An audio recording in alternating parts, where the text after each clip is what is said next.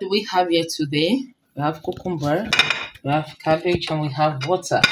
Well, uh, for those that have been suffering from heartburn, this is a solution to heartburn.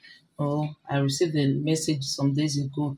One of our group that the person was asking for the therapy for heartburn, so that's why I'm doing this today. How do you go about saying heartburn? It's so simple. Mm, you get your cucumber, two cucumbers, two cucumbers like this, and then this size of a cabbage. You get it, remove the back. You can soak them inside in water and activated charcoal. Yeah, in order to neutralize any, in case there's any fertilizer in it to neutralize, you can soak it inside the activated charcoal water. Just take a bowl of water, put a tablespoon of activated charcoal and soak it for like 15 minutes to neutralize the effect of any chemical in it. You know, a lot of vegetables have been planted with fertilizer now. So after doing that, rinse it very well.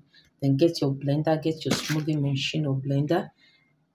Get your smoothie machine or blender, and then you now cut this into smaller pieces and blend this with um um with water. This 75 cl water, 75 cl water. Blend it.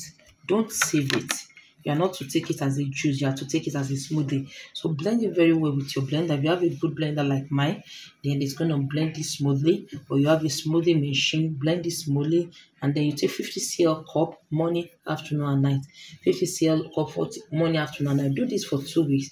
On about for two weeks, you should say bye bye to heartburn. The challenge I had, I remember one time I did it for someone in Port Harcourt. So it took it for just like two days and the heartburn had disappeared. So it didn't finish the therapy. That's not correct.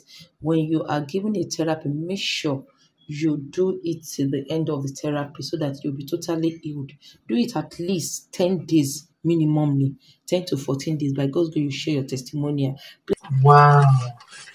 Wow, this recipe, apart from heartburn, it does a whole lot of things in the body. Check out the health benefit of cucumber. Cucumber is good for the kidney. It hydrates the body. And check out also the health benefit of cabbage. It has uh, antioxidant property. All this has a lot of nutritional value apart from you taking it for heartburn. Give it a try.